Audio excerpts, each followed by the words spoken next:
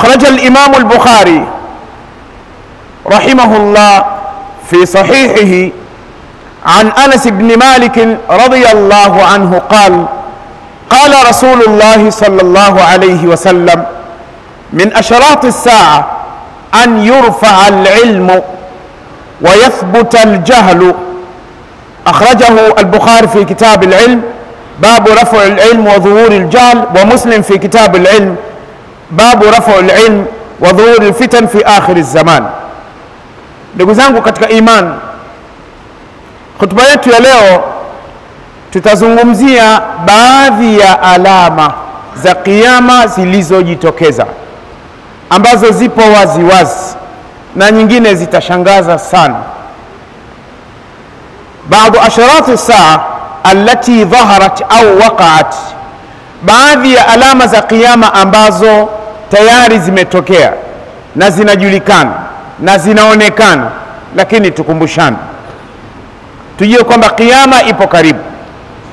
Allah subhanahu wa taala anasema idha shamsu kuwirat jua siku litakapokunjwa hili jua tunapoliona. Wa idha nujumu nkadarat na nyota tutakapoziona zinapukutika hiyo itakuwa ni siku ya kiama sasa kiama ndugu zangu ipo karibu. Hasa kila inapofika ijumaa kila ijumaa ya kila wiki na kila mwezi basi wanyama huwa wanapata tabu sana. Sana sana sana sana. Wanyama wadudu ndege wanapata tabu sana. Na wanalia sana kwa huzuni na kwa simanzi kwamba ile siku imefika lakini ni sisi wanadamu na majini hatuna habari. Sikiliza mtume sallallahu alayhi wasallam anasema hadithi anaisimulia abu Huraira radhiyallahu anhu. Anna rasulullahi qal hakika mtume wa allah amesema ma min dabatin hakuna mnyama yoyote mdudu yoyote illa wahiya musikhatun isipokuwa yule mnyama huwa anapiga kelele analia sana sana sana yauma aljumaa siku inapofika ijumaa wakati wa saa kumi na moja alfajiri au inapokuwa inakwenda saa kumi na nusu kwenda saa kumi na moja alfajiri dunia nzima wanyama huwa wanalia sana wanapiga kelele. Kwa nini? Wakasema mtume akasema min hina tusbihu tangu jua linapochomoza hata tatlu ashamsu mpaka jua linapochomoza. Min assaat yani mpaka jua linachomoza shafaqan min assaa wale wanyama wanahofia kwamba ndiyo kiama imefika. Kila inapofika aijumaa asubuhi jua linapochomoza wanyama wanalia sana wanapiga kelele sana. Shafaqan min assaa kwa kuhofia kwamba kiama imesimama. Illa ljinna walinsa isipokuwa majini na wanadamu. Sisi hatuna habari. Tunakuwa katika maasi tunapokuwa katika mambo mengine tuna mawasi mwenyezi mungu huyu kamuua huyu huyu kamdhulumu huyu huyu kamtukana huyu huyu kamkosea huyu huyu kampa sumu huyu huyu kamdharau huyu huyu kafanya jambo majini na wanadamu ndiyo sisi hatuna habari. Akhrajahu lalbani rahimahullah fi sahih abi daud. Kwa ni kwamba wanyama wanapiga kelele. Kwa sababu gani? Hii ni siku ambayo mwenyezi mungu subhanahu wa taala ameiandaa kwa ajili ya siku ya Kiyama, na Kiyama itasimama siku ya ijumaa. Hadithi katika sahihi muslim anaisimulia abu Huraira radhiyallahu anhu. Mtume anasema sallallahu alaihi wasallam khairu yaumin talaat alayhi shams yaumu ljumaa siku bora kwa wiki ambayo ni bora ni ile siku ya ijumaa inayotokewa jua. Siku bora ni ile siku ya ijumaa inayotokewa jua. Kwa nini siku ya ijumaa ni bora? Mtume akasema fihi khuliqa adam. Ijumaa kama siku ya leo ndio siku aliumbwa mtume adam alaihi salam. Wa fihi udkhila ljanna na ijumaa kama ya leo ndio mtume adam aliingiza peponi. Wa fihi ukhrija minha. Na ijumaa kama ya leo mtume adam baada ya kuishi peponi akawa ametolewa yeye na mama hawa wala taqumu saa illa fi yaumi ljuma, isipokuwa kiama hakitosimama isipokuwa mpaka siku ya ijumaa kwa hiyo ndugu zangu kiama tujiandae kwamba itatokea siku ya Kiyama. Rawahu Muslim. Kwa hiyo hapa tunapata fundisho gani? Kwamba Kiyama itatokea siku ya Ijumaa na ni siku bora sana ambayo Mwenyezi Mungu Subhanahu wa Ta'ala kupitia mtume wake ameichagua. Lakini kuna baadhi ya mifuko imeanza kuonekana katika sehemu za shopping, ina imeandikwa Black Friday, Ijumaa nyeusi. Why Black Friday? Kwa nini isiwe Saturday, Black Saturday? Kwa nini isiwe Black Sunday, Black Monday, Black Tuesday, Black Wednesday, Black Thursday? Why Black Friday? Kwa nini Ijumaa nyeusi? Kuweni na akili Waislamu, naomba mjitambue, msivurugwe na mipira, msivurugwe na mambo ya siasa, msivurugwe na huyu sijui kachaguliwa huyu ukafanywa hivi. Shughulika na la ilaha illa Allah, angalia mustakbaluka, angalia unaelekea wapi. Kwa nini Ijumaa nyeusi? Mara ya kwanza nimekwenda kuikuta Afrika Kusini, Johannesburg, Cape Town, Durban, Rustenburg. Niliishi mwezi mmoja katika mwezi wa Februari ilikuwa 2019 nilikuwa nimealikwa kwa ajili ya kazi ya dawa kule, nikaenda kuikuta hiyo, nikaa najiuliza kwa nini ni Black Friday, kwa nini sio Black Sunday? There are something behind. Waislamu lazima mjitambue. Sa Mtume sallallahu alaihi wasallam anasema khairu yaumin talat fihi shams yauma aljuma, siku bora, siku tukufu ambayo imechomozewa na jua ni siku ya Ijumaa. Fihi khuliqa Adam, ndio siku aliyeumbwa Mtume Adam. Wa fihi uhbita, na siku ya Ijumaa Mtume Adam na mama Hawa ndio walioletwa ardhini. Mtume Adam alaihi salam aliteremshiwa katika mji unaoitwa Sarandib. Sarandib ndiko alipoteremshiwa kule. Unakwenda katika kitabu kinachoitwa Mujamul Buldan, ateremshiwa Sarandib. Mama Hawa akateremshiwa hapa Jidda au Judda au Jadda. Wa fihi tiba alaihi, na siku ya Ijumaa ndio siku ilipokelewa toba yake. Wa fihi qubida Mtume Adam alayhi salam alifariki siku ya Ijumaa. Wa fihi taqumu saa, na ndio siku kiyama itasimama siku ya Ijumaa.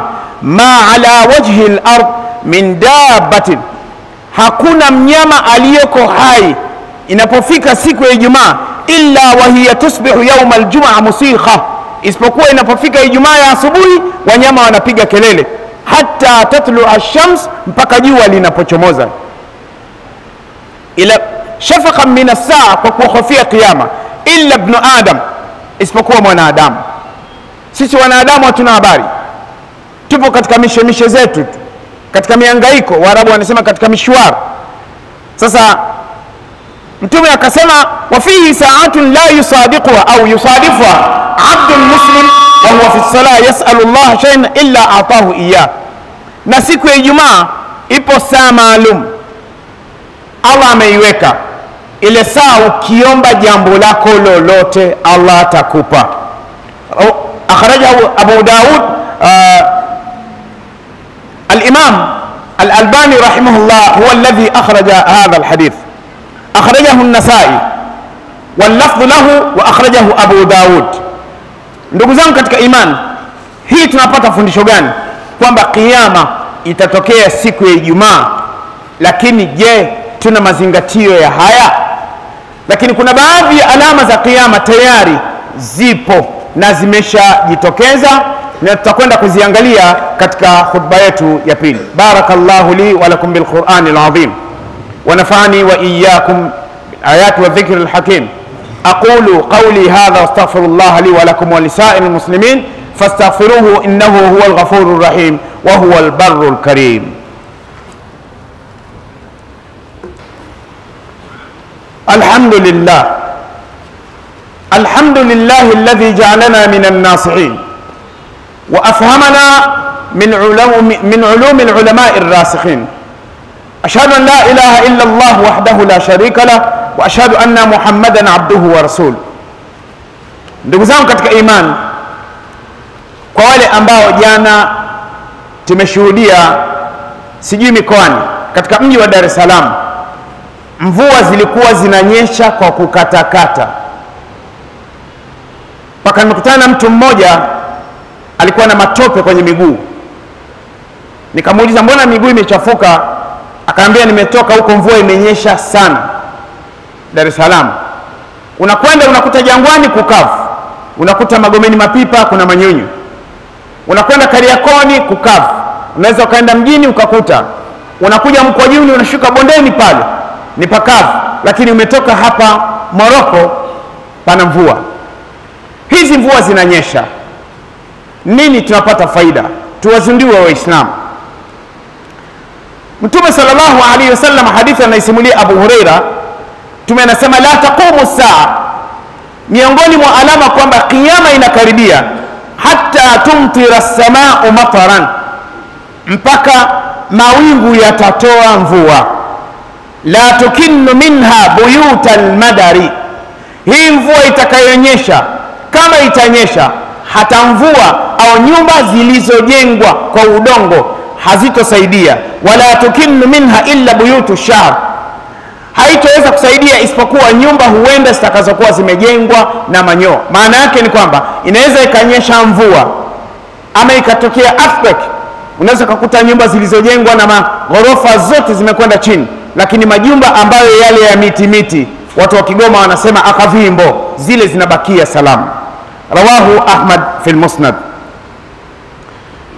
ndugu zangu katika iman katika alama za kiama ambazo zinajitokeza angalia mvua inanyesha lakini haina maana wala haiotoshi chochote. Kwa sababu gani? Mtume ameshaeleza ni miongoni mwa alama za kiama hadithi inayofuatia mtume salllahu alaihi wasallam anasema laisat sanatu bialla tumtaru. Ukame hauna maana kwamba ni nyinyi kuto kupata mvua huo sio ukame. Walakina sanata lakini ukame antumtaru watumtaru wa tumtaru mtateremshiwa na mvua mvua itanyesha itanyesha. Wala yumbitu lardu shaia ardhi haitootesha chochote. Mvua inanyesha lakini bado kuna ugumu wa maisha kwa wakulima. Mvua inanyesha lakini hawavuni chochote. Sababu gani ni mvua zinanyesha kuonyesha kwamba kiama imekaribia. Waislamu tuzingatie hayo. Miongoni mwa alama za kiama ambazo zimejitokeza anas ibn malik radhiyallahu anhu anasema qala rasulullah mtume amesema min asharati saa. Miongoni mwa alama za kiama an yurfaa alilmu, ni elimu kuondolewa thamani yake kwa watu waislamu watakosa kujua thamani ya elimu. Wayathbuta ljahlu na watu wengi watakuwa mbumbumbu katika dini yao. Watakuwa mbumbumbu katika dini yao. Rawahu lbukhari fi kitabi lilm wa muslimu aidan fi kitabi lilm na haya ndiyo yanayojitokeza hivi sasa kwamba waislamu wamekuwa wajinga sana katika elimu yao ya dini. Wanaweza wakajikuta magrupu sana lakini si kukaa kwa shekhe msikitini kusali chukua katika baadhi ya misikiti dar es salaam mashekhe wanatoa darsa mbalimbali katika misikiti lakini unawakuta watu wamejazana kwenye matv wanaangalia michezo. Na most of them mudhamuhum almuslimun. Wengi wa waislamu ndio wamekuwa mabwege wa kufata mambo ya kipuuzi nalitumia neno bwege kwa sababu unaonekana wewe ni falafala tu. Waislamu hawana thamani na dini yao. Hata kukaa kwa shekhe anafundisha huenda hidayatul atfal au babu. Anaona shekhe anafundisha, wanasubiri shekhe anakaribia kumaliza darasa unawakuta wamejazana pale. Wanamsubiria ki, kiam tu. Pakimio sala tena wanasema shekhe pale msikitini wanachelewa kuswali. Lakini kwenye mpira hawachelewi. Waislamu jitambueni waislamu wamekuwa wajinga sana. Mpaka wengine wanafika kuchezea sheria ya mwenyezi mungu. Kwa ajili ya mpira mtu anatishia atamwacha mkewe. Kama timu yake ikifungwa bwege mkubwa katika dini huyu. Huu ni ubwege. Unachezea talaka. Unachezea talaka katika, kwa sababu ya mpira wa simba na yanga. Bwege mkubwa wewe. Leta toba kabla hujafa. Thalathatun hazluhunna jiddun wa jidduhunna jiddun mambo matatu utani wake ni ukweli na ukweli wake ni ukweli. Atalaq, unamwambia mkeo nimekuacha. Warujuu au warraja, unamwambia mkeo nimekurejea wakati ulikuwa umemwacha. Wanikah, unamwambia mtu sikiliza, kijana, nimekuozesha mwanangu, na kweli una mtoto na ile mtoto unaye ni wako, unaambia nimekuozesha, hiyo imeenda. Waislamu puuzi. Janaume lingine linasikika kwamba amefunga timu amefunga magoli, mwanamume anataka awe demu, amzalie watoto yule mwanaume, mchezaji wa mpira. Fala mkubwa wewe, na wengi ni Waislamu. Naomba niwaambie nyie ni mafala. Nazungumza mimi Sadana, sio shekhe mwingine mimi. Leteni toba kwa Mwenyezi Mungu Subhanahu wa Ta'ala. Katika alama ndugu zangu za kiyama zilizojitokeza, subhanallah, katika alama la Mtume akasema la taqumu saa, yatakarabu zaman, kiyama itakurubia. Sikiliza vizuri, wa yukbadu lilm, na elimu itaondolewa. Elimu inaondolewa namna gani? Wanachuoni wanaondoka. Watadhharu lfitan, fitna zitakuwa nyingi, watu wanauana huyu anataka figo la huyu, huyu anataka kucha za huyu, huyu anataka nywele za huyu, huyu anataka wengi, yani anataka figo, anataka mapafu, anataka kucha. Mwanga mkubwa. Hawa wanaofanya hivi vitendo, ya Rab, ya Rab, ya Rab, popote pale walipo, walani wasambaratishe, waangamize. Fitna imekuwa kubwa. Mtume akasema wayulka shuhu na ubakhili utakuwa mkali. Ubakhili utakuwa mkali kwa Waislamu. Ubakhili, wengine wanaanzisha ligi, ligi inaitwa Ramadhan Cup. Ramadhan Cup, my friend, ayuha almuslimun, ayuha aljuhal, nyinyi wajinga mafala. Ramadhan Cup, wakitoka hapo watasema Shaban Cup, watasema Quran Cup, watasema Alasiri Cup. Please komeni, mshike na adabu hata kama hela ni zenu. Why Ramadan Cup? Shahru Ramadan alladhi unzila fihi alquran, wa unaita Ramadan Cup. Mabwege wakubwa, wallahi nawaambia, na wengine wananijua vizuri, naomba msinisalimie mpaka siku ya Kiyama, na nitasimama nawe siku ya Kiyama nilikuita bwege kwa kuchezea neno Ramadhan. Mtume akasema wayakthura alharj na harji itakuwa nyingi. Masahaba walimuuliza wamal harju ya Rasulullah, harji ni nini? Akasema alqatlu lqatlu watu watauana sana. Rawahu Muslim fi kitabu lilm. Ndugu zangu katika iman, katika alama za kiyama zilizojitokeza, Hudhaifa ibn al-Yaman ibn Hizn sahibu sirri Rasulillah radiyallahu anhuma anasema qala Rasulullah, anasema mtume wa Mwenyezi. Ndugu zangu, hizi hadithi nimezichagua kwa makusudi tupate kujipiga wenyewe. Mi mwenyewe zinanipiga hivi. Mtume anasema yadrusu lislamu, Uislamu utapotea thamani yake kwa Waislamu kama yadrusu washyu thaub, kama vile nguo inavyokuwa inachuja. Uislamu utachuja thamani yake kwa Waislamu hata la yudra ma siyam, mpaka itafikia Mwislamu hajui kufunga ni nini wala sala, Muislamu hajui kuswali wala nusuk, wala ibada nyingine hazijui, wala sadaqa, hajui sadaqa. Kuna Waislamu, Muislamu mmoja ameambiwa na mtu, nitajie nguzo za udhu, zero division zero. Waislamu wengi hata kuoga janaba hedhi hawajui, lakini mahodari wa kuchambua mpira. Waislamu, haya ni maneno nayazungumza yanakera, alafu mtu mwenyewe ni mimi Rusaganya, ninakera mi napiga za usoni kwenye mshono. Waislamu umekuwa wajinga sana kwenye Uislamu. Sihitaji viewers au watakaokuwa na viewers watapata hela, mi kazi yangu hapa tu. Mtume akasema wa yusra ala kitabillah fi laila, itafikia siku thamani yake itaondoka usiku mmoja. Fala yabqa fi lardi minhu aya. Itafika pahala quran hata aya moja haipo. Watabqa tawaifu min annas itabakia makundi ya watu. Watakuwa wanasema alsheikhu lkabir alsheikhu lkabir mtu mzima.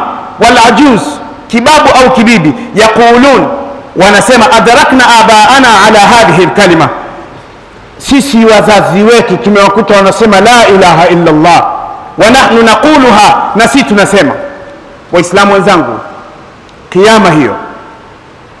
Ndugu zangu katika iman katika alama za kiama zimejitokeza. Intisharu zina uzinifu umekuwa mwingi. Wanamume na wanawake hawajaoana wanazini hawajaoa wanazini hawajaolewa wanazini hawa wenye ndoa wanazini wanawake wenye ndoa wanaziniwa kitu cha kawaida sana zinaa hivi sasa. Jero tu unachukua mzigo. Jero tu. Chips. Unapiga mzigo. Tena chips mayai.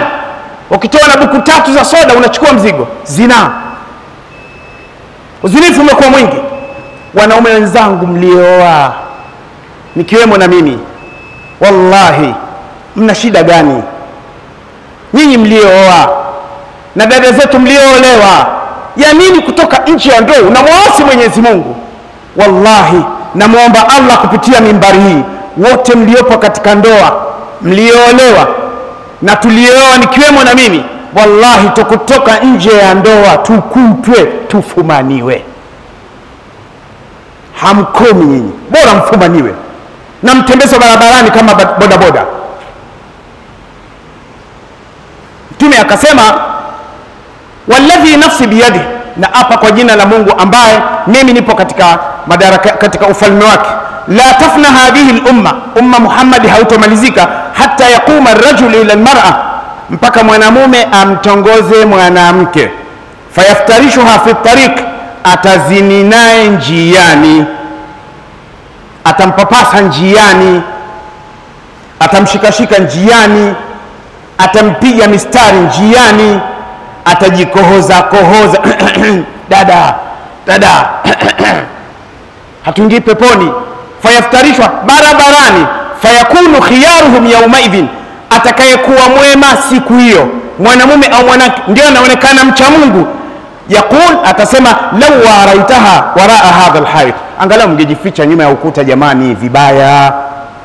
Rawahu abu yala fi lmusnad qala lhaithamiyu rahimahullah rijaluhu rijalu sahih. Ndugu zangu katika iman ndugu zangu katika iman haya yapo.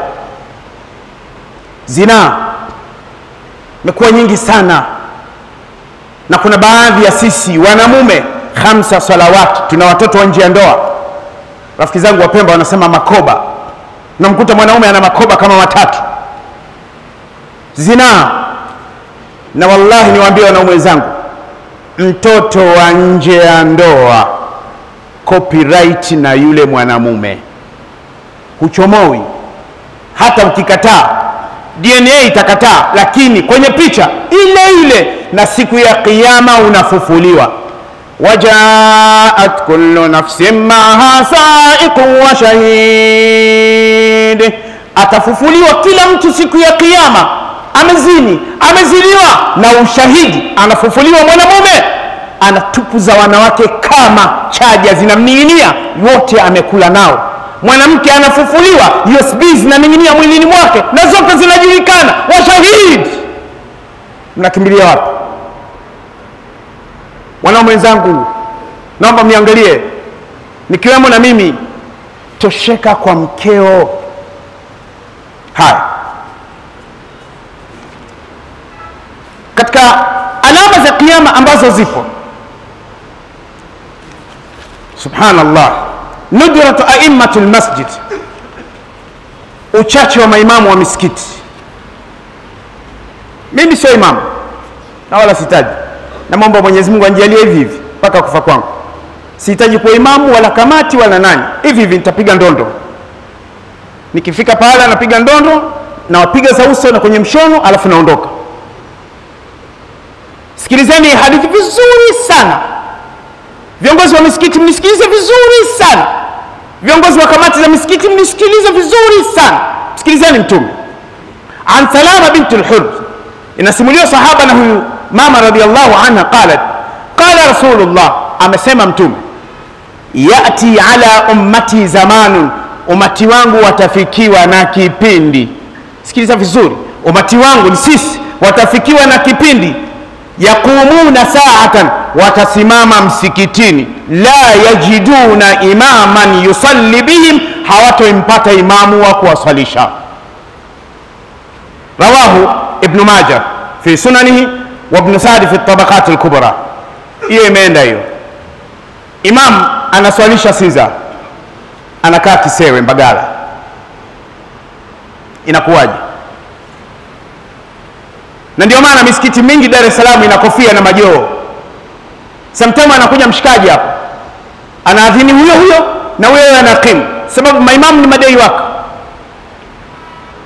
waislamu wee viongozi wa misikiti yeye, naomba mnisikilize. Nazungumza miru sagani. Ameyasema mtume nafikisha kwenu. Mkimaindi msipo maindi poa kula jiwe. Maimamu wenu wanakaa mbali. Wakeni majumba karibu. Wajengeni majumba karibu. Ni aibu. Imamu mpaka anafika msikitini ana harufu ya kipapai anatoa harufu ya kiperapera. Jasho jasho. Amesukumana na watu kwenye daladala. Anaondoka nyumbani saa kumi na moja alfajiri. Anafika msikitini. Akifika kwanza lazima alale. Hiyo imekwenda hiyo. Hii ni alama ya kiama ipo. Wale ambao mnasimamia misikiti na wale wenye nafasi za pesa badilikeni waangalieni maimamu. Watu wa quran watu wa qurani hawana thamani. Walimu wa qurani hawana thamani. Maimamu hawana thamani. Hawa waadhini ndio allahumaghfir lahum warhamhum hawa wafanya usafi fatiha. Kabisa. Qurani haina thamani kwa waislamu. Kwa sababu qurani mi nikisoma qurani siwezi kuwa hr human resource. Siwezi kuwa mwasibu. Siwezi kuwa injinia siwezi kuwa nani huo ni ubwege mawazo ya namna hiyo ni ya kibwege na ni ufala. Wangapi wenye madigrii wako mtaani wanadanga na hawana kazi? Quran qala sallallahu alayhi wasallam hadithi anaisimulia umar bin Khattab, inna allaha yarfa bihadha lkitab aqwaman wa yadau bihi akharin. Mwenyezi mungu kuna baadhi ya waislamu anawatukuza kwa sababu ya quran wameisimamia wameisimamia wameifanyia kazi na kuna watu wanakuwa dhalili. Mnajua kwa nini hivi sasa tunachezewa na dunia? Quran hatuna thamani nayo. Sasa imam watu wanasubiri msikitini. Njoo tusalishi ah, mi siwezi. Njoe mm-mm, mm-mm. njoe. Mwisho unachukuliwa kofia anakabidhiwa mtu. Hii ni hatari. Kasema mtume ndugu zangu ya mwisho katika alama ambazo zimejitokeza dhuhuru amal qaumi lut ni kuenea kwa vitendo vya mapapai mashoga.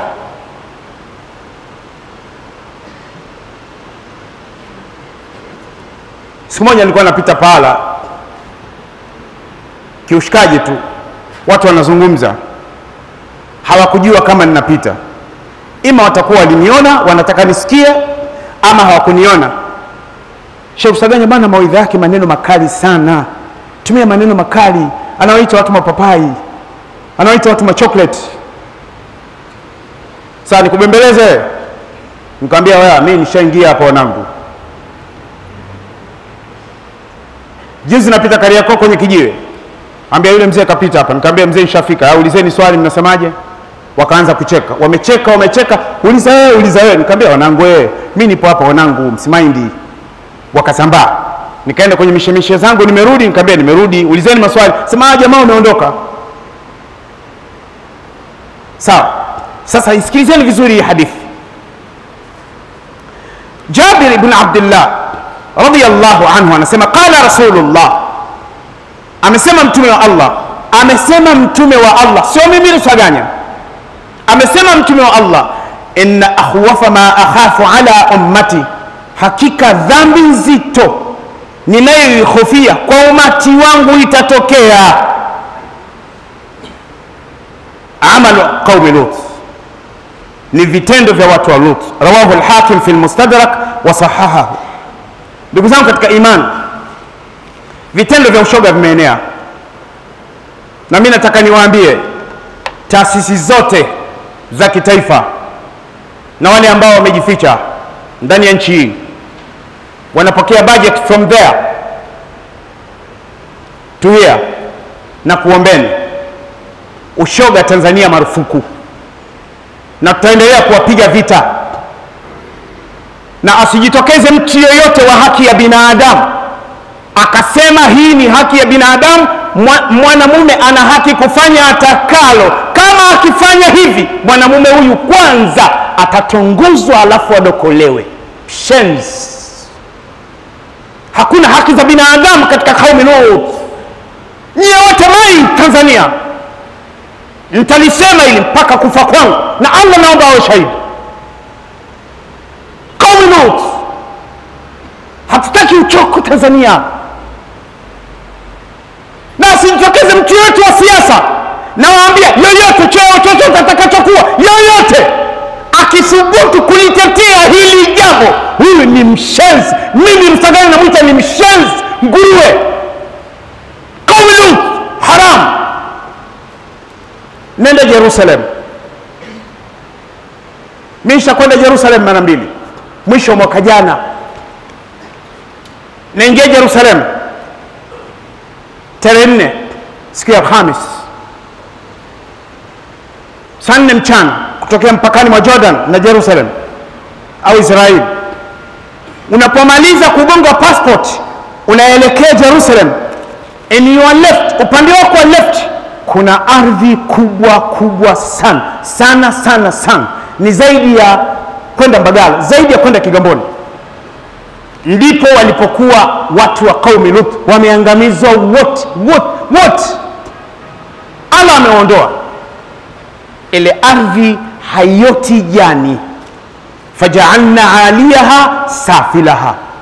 Mungu alimtuma Jibril akaigeuza ile ardhi juu chini, kwa sababu wamekutwa watu wa Lut, watu wa kwanza. Sikilizeni wa Tanzania, watu wa kwanza kucheza ngoma ya mtungo, watu wa kaumi Lut, watu wa kwanza kutembea wamefungua zipu. Oya, watoto wa Kitanzania, mnafungua zipu na mnalegeza suruali, walegeza suruali, walefungua zipu ni watoto wa kaumi Lut, watu wa qaumi Lut na walikuwa wao kwa wao wanagongana, na walikuwa wanacheza ngoma ya mtungo, kila mmoja amempiga mwenzake nyuma, watu wa Lut. Na ngoma hizi zipo mpaka Dar es Salaam. Mtoto wa kike anatunzwa pesa sehemu za makalio, na wallahi, kama si Mwenyezi Mungu, nipo kwenye gari na dreva amepita dada mmoja, yule hajavaa isipokuwa amemwambia Mungu, navaa ninavyotaka. Upepo, subhanallah, ni bonge la mti. Upepo umepita ukamfunua, ukapandisha kile kiguoni kichepesi kidogo sana, upepo. Na nadhani wale ni askari wa Mungu. Umepita upepo, mwanangu, ukafungua kawa, ili watu waone, je, kuna kachumbari na nini? Nimeona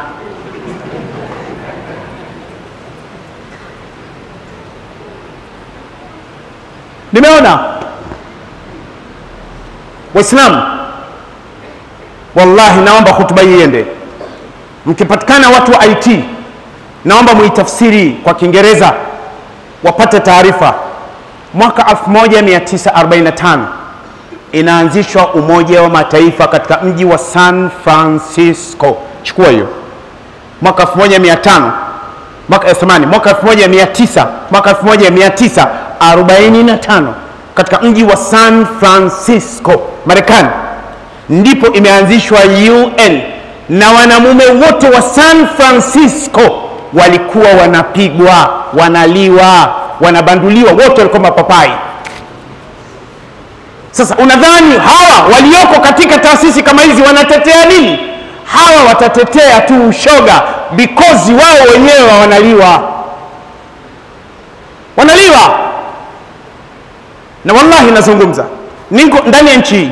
Maanake kuna watu wengine anaweza akasema hebu kaangalia ni pasipoti yake iko hapa njoo chukua pasipoti kwani ukichukua pasipoti umeshantoa katika rehma za mungu? Natokea kigoma. Hamkawii kuwaambia watu wa kigoma sio raia? Haya mi sio raia njoo chukua passport. lakini my friend ukichukua passport ukija kitakachokikuta please mungu mwenyewe anakijua. Chukua passport kwani msipokuwa raia wa tanzania kwa mungu siendi nakwenda. Na nitaingia katika rahmatullah wewe bakia kutetea ushoga fala na utakwenda kukutana na watu wa kaumi lutu. La ilaha illa allah nimalize hotuba yangu haya ndio yazungumza. Naomba radhi za allah. Sihitaji viewers na sihitaji mnisifie allah ndio namwomba amenipa uhai.